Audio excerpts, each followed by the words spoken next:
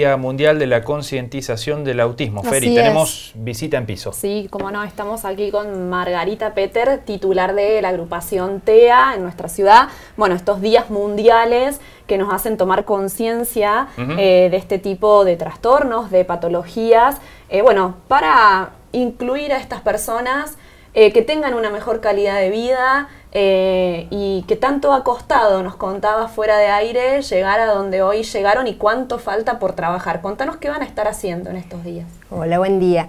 Mañana vamos a estar organizando en la Plaza Olmos una jornada de concientización a partir de las 16 horas. Un poco es esto, que nos conozcan, ¿sí? el, eh, un poco la consigna es conocerme, porque hay como mucha, mm. eh, digamos, información que por ahí surge socialmente sobre lo que es el autismo y bueno, queremos eso, concientizar y mostrar que primero que nada son personas, por lo tanto con todos los derechos que cualquier persona aporta a la educación, a la recreación, a la salud. Entonces eh, es esto, ver que estamos, que están en este mundo, porque otro mito es eso, que las personas con autismo no están en este mundo, están fuera, no les interesa. No es así, tienen otra forma de conectarse con el mundo u otras habilidades comunicativas que hace que tengan algunas conductas particulares. Por eso la idea es que conozcamos el resto, porque la forma de incluir es que nosotros también estemos abiertos a entender esa forma de comunicación. Claro. Marita, ¿y cuánto cuesta eh, esto de hacerle reconocer los derechos a los demás de los chicos con autismo. Claro. Bastante, empezando por las horas sociales muchas veces, porque lo primero es el diagnóstico fundamental y después los tratamientos, o sea, luchamos por la detección precoz, pero para que haya tratamientos cuanto antes, una estimulación temprana que les permita aprender, porque muchas veces son cuestiones comunicacionales, entonces necesitan estrategias los acompañamos aprendiendo esas estrategias, pueden incluirse en la escuela, pueden ah, desarrollar otras actividades con sus particularidades, ¿no? Porque es un trastorno neurobiológico, no es una enfermedad, no se cura, sino que en realidad lo que le damos son herramientas para que puedan eh, desarrollarse lo mejor posible, tener una mejor calidad de vida. Marita, em, ¿existen familias que por ahí les cuesta asumir eh, la condición de alguno de sus hijos, de alguno de sus familiares, hay una negación primero. ¿Cuán importante es eh, la atención desde el seno familiar eh, para poder empezar a tratar? eso es fundamental, digamos, tratar de reconocerlo, ver que algo no está funcionando para buscar, digamos, el diagnóstico, no como un etiquetamiento o como, digamos, una condena, sino todo lo contrario, como una capacidad de poder saber qué necesita y a partir de eso acompañar. Obviamente que lo normal es o la negación o, es todo un duelo, digamos, realizar es un proceso que no es fácil a ver. Claro. O pensar que tiene otra cosa. Claro, sí, o como nos suelen decir, no, no, vos sos muy ansiosa, espera, ya va a hablar, no lo compares con otros chicos, no todos los chicos son iguales. Sí, generalmente también eso, ¿no? Muchas veces a la mamá se le se le da el mote de que es muy ansiosa, entonces ve cosas que no son y demás, pero bueno, cada mamá conoce a su niño y si ha tenido otro con mayor razón, pero bueno, em, es complejo porque, bueno, nadie viene preparado para decir, bueno, yo quiero tener un hijo con autismo. Claro. sinceramente, todo el mundo, desde que sabe de la concepción, imagina ya toda una vida eh, diferente.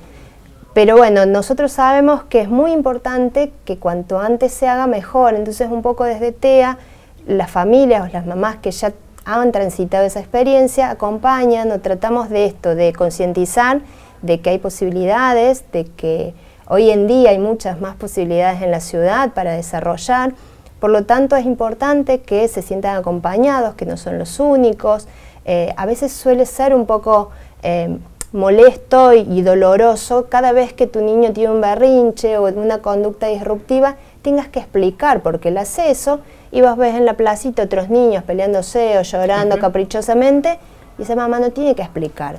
¿sí? Entonces por ahí también esto, que el diagnóstico nos sirve a nosotros como familia para ayudar, no para que nos dejen afuera o dejen afuera nuestros niños o que sus conductas tengan que ser más explicadas que el resto.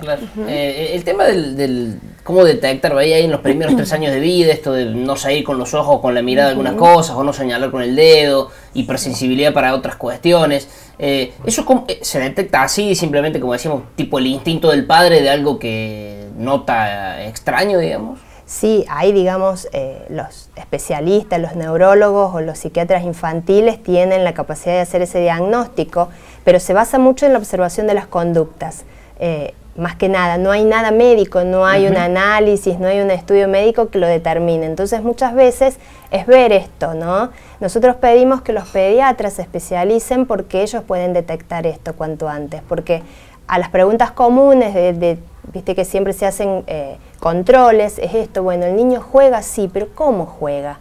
Porque ellos juegan con autitos, por ejemplo, pero lo hacen de otro modo, a lo mejor girando las rueditas, alineándolos uno al lado de otro, solamente de algunos colores, hay otros que le resultan disruptivos, esto de los sonidos, a veces se confunden con sordos porque vos lo hablas y, no te, no te responden, pero sí escuchan algún ruido o algo que les interesa y sí reaccionan.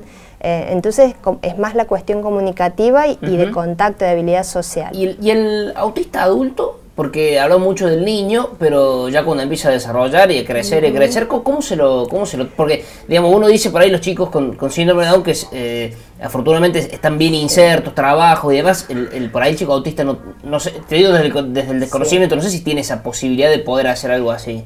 Actualmente, recién estamos como hablando más del tema, hay muchas personas con síndrome de Asperger que está dentro del espectro, que digamos, más que nada es la habilidad social lo más eh, complejizado, eh, hay muchos que recién ahora, adultos, a partir de toda esta información, que se están dando cuenta y están siendo diagnosticados de adultos, de jóvenes, exactamente, empiezan a entender todas sus dificultades que tuvieron durante mucho tiempo a partir de esto, porque tienen alto rendimiento intelectual, porque es más otra cuestión social.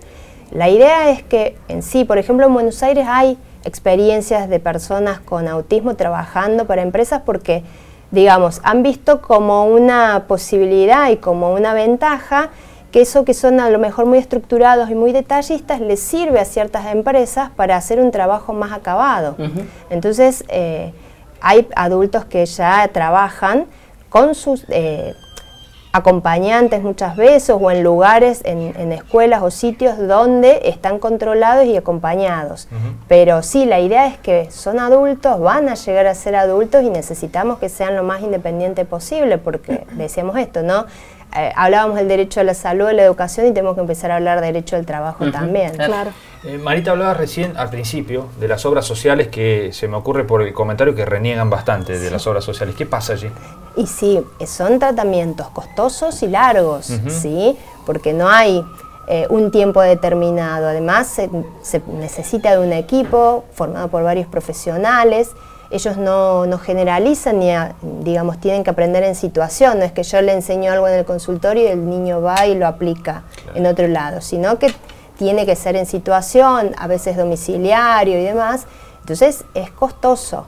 Y bueno, con las obras sociales hay, digamos, varias disputas, amparos y cosas de ese tipo, que bueno, es una de las primeras cosas que acompañamos a la familia, en esto de aceptar el diagnóstico y después cómo seguir con este tema de, bueno, de las mutuales, del tratamiento. La mutual te dice, nosotros pagamos un módulo de tantos, tantas horas, pero si a vos el profesional te dijo más horas, son más horas porque es lo que necesita ese niño, ese joven, ese adulto. Claro, efectivamente. Marita, ¿cómo están los colegios hoy? Eh, ¿Se adaptan a, hacer un trato especial, específico, para que ese chico, eh, no sé, pueda cumplir con una currícula para, para, todos, digamos, dentro de un colegio para todos? En, en realidad hemos tenido varias buenas experiencias y otras no tanto.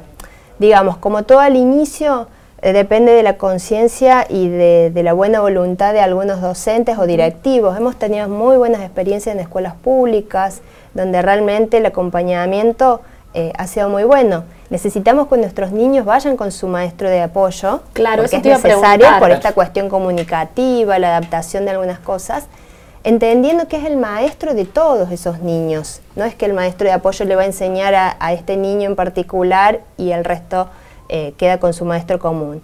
Eh, me parece que es, hay muchas más herramientas, eh, de hecho ahora va a haber una capacitación sobre esto, entonces necesitamos que el docente empiece a entender cuáles son las características del niño con autismo, cuáles serían algunas adecuaciones a, realizar y que en realidad benefician a muchos otros que a veces están y no tienen el diagnóstico, por esto que decías al principio. A veces las familias les lleva más tiempo darse cuenta o aceptarlo.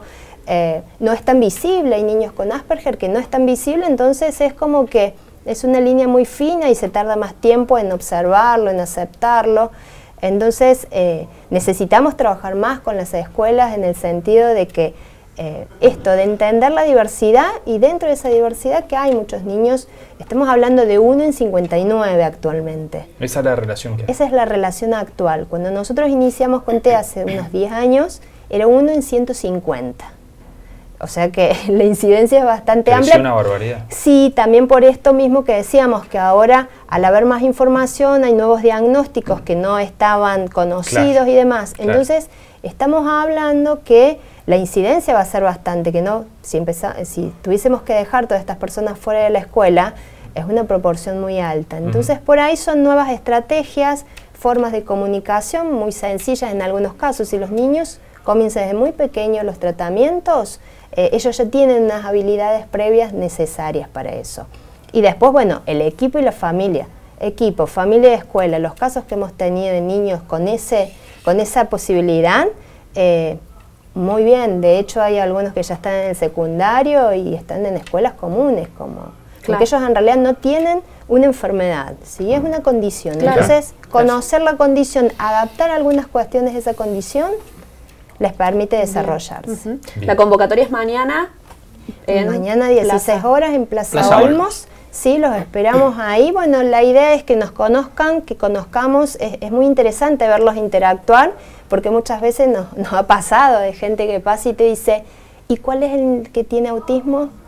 O sea, o sea al momento de jugar o al momento son algunas conductas que pueden ser más visibles. Generalmente por ahí pedimos comprensión ante un berrinche. El berrinche no es un capricho, es algo que genera una disrupción. Puede ser un sonido, un color. Son muy perceptivos también de la aceptación o no del otro.